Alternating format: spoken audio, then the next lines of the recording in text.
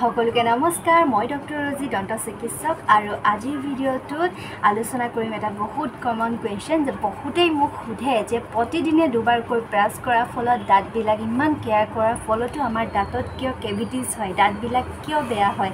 তো তাৰে বিষয়ে আজিৰ ভিডিঅ'টোত সম্পূৰ্ণকৈ আপোনালোকক ক'ম যে কি কি কাৰণত আপোনাৰ দাঁত চাফা কৰাৰ ফলত ভালদৰে দুবাৰকৈ ব্ৰাছ কৰাৰ ফলতো আপোনাৰ কিয় কেভিটি হয়।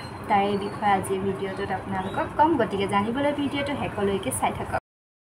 প্ৰথম কাৰণটো হৈছে আপুনি ব্ৰাছিং টেকনিক ফ'ল' কৰা নাই। ৰং ব্ৰাছিং টেকনিক মানে প্ৰপাৰ আপুনি ব্ৰাছিং টেকনিক কৰা নাই ভালদৰে আপুনি ব্ৰাছ কৰা নাই। ব্ৰাছ আপুনি কৰিছে কিন্তু ভালদৰে কৰা নাই। যদি আপুনি ভালদৰে দাঁতৰ আপোনাৰ প্ৰতিটো ছাৰ্ফেচ যদি আপুনি ভালদৰে চাফা নকৰে তেতিয়াহ'লেও দাঁতৰ মাজত ফুড পাৰ্টিকলছ জমা হৈ থাকে আৰু সেই ফুড পাৰ্টিকলছৰ পৰাই বেক্টেৰিয়া ভাইৰাছ লগ লাগি আপোনাৰ দাঁতত কেভিটিৰ সৃষ্টি কৰে। তাৰ লগতে আপোনাৰ কেতিয়াবা দেখা যায় যে আগফালৰ দাঁতকেইটাৰ মাজত নাইবা আপোনাৰ দুটা দাঁতৰ মাজত খুবেই কেভিটিছ হয় বহুত লোকৰ।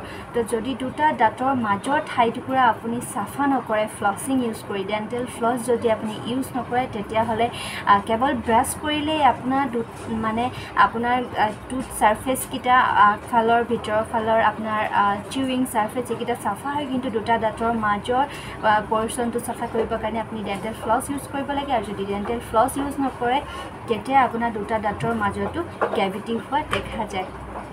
তাৰপাছত আপোনাৰ ফ্ল'ৰাইড কম যদি থাকে যদি আপোনাৰ ফ্ল'ৰাইড কম পায় প্ৰয়োজন সাপেক্ষে আপোনাৰ যদি মানে মুখত আপোনাৰ মুখৰ ভিতৰত বা আপোনাৰ শৰীৰত যদি আপোনাৰ ফ্ল'ৰাইড কম পৰিমাণে পায় তাৰ ফলতো আপোনাৰ দাঁতত কেভিটিছ হোৱা দেখা যায়।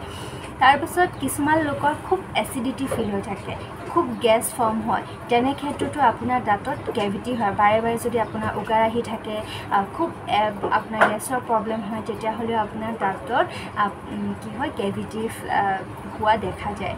আৰু যদিহে আপুনি ফিলিং কৰাইছে আগতে যদি আপোনাৰ কেভিটি হৈছে আৰু সেই কেভিটি আপুনি পৰিষ্কাৰ কৰাৰ পিছত ডেণ্টেল ফিলিং কৰোৱাইছে তেতিয়াহ'লে আপুনি ফিলিংটোৰ যদি ভালদৰে কেয়াৰ নকৰে নাইবা ফিলিংটো আপোনাৰ যদি ভাল নহয় মানে ফিলিংটো যদি একদম আপোনাৰ টাইট কণ্টেক্ট নাথাকে বা ফিলিংটো কোনোবা ফালৰ পৰা লিক হৈছে তেতিয়াহ'লে তাত আকৌ আপোনাৰ মানে ৰিকেভিটিছ পুনৰ তাত কেভিটিছ হ'ব পাৰে বা যদি আপোনাৰ দুটা দাঁতৰ মাজত টাচ হোৱা ঠাইটুকুৰাত যদি আপোনাৰ কেভিটি হৈছে তেতিয়াহ'লে আপুনি ভালদৰে যদি নিৰীক্ষণ কৰি নাথাকে তো তেতিয়া ছাইডৰ দাঁতটোতো আপোনাৰ কেভিটি হোৱা দেখা যায়।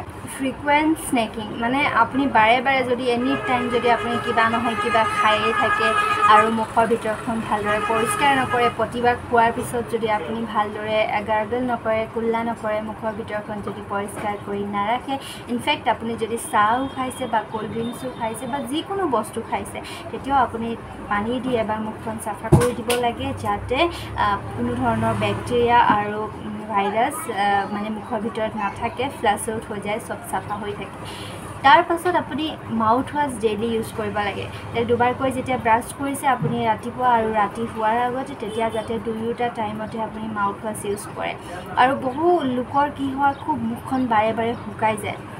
সেইটো এটা প্ৰব্লেম হয় যিটোক জেৰষ্টমিয়া বা ড্ৰাই মাউথ বুলি কোৱা হয়। মুখ শুকাই যোৱা প্ৰব্লেমটো যদি হয় তেতিয়াও আপোনাৰ মুখৰ ভিতৰত কেভিটিছ হ'ব পাৰে বা মুখৰ দুৰ্গন্ধ হ'ব পাৰে।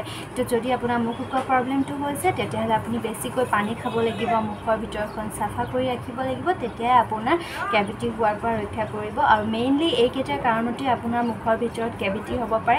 আৰু যদিহে আপোনাৰ ফিল হৈছে যে দুবাৰ ব্ৰাছ কৰাৰ পিছতো আপোনাৰ কিয় কেভিটি হয় তেতিয়াহ'লে এইকেইটা কাৰণ গম পোৱাৰ পিছত এইকেইটা কাৰণতো আপুনি ধ্যান দিব আৰু আপোনাৰ মুখৰ ভিতৰত দাঁতত কোনো ধৰণৰ কেভিটিছ নহ'ব আৰু যিকোনো প্ৰব্লেমৰ পৰাও আপুনি যদি মানে কেয়াৰ কৰে দাঁতৰ যদি কেয়াৰ কৰে বা মুখৰ ভিতৰৰ এনভাইৰনমেণ্ট যিটো হয় সেইটো যদি ভালদৰে আপুনি চাফা পৰিষ্কাৰ পৰিচ্ছন্নতা মানে বজাই ৰাখে তেতিয়াহ'লে আপোনাৰ দাঁতৰ কোনো ধৰণৰ প্ৰব্লেম নহ'ব। দাঁতৰ লগতে মুখৰ কোনো ধৰণৰ প্ৰব্লেম নহ'ব আৰু এটা হেল্ডি অৰেল হেল্থ আপুনি মানে বজাই ৰাখিব পাৰিব।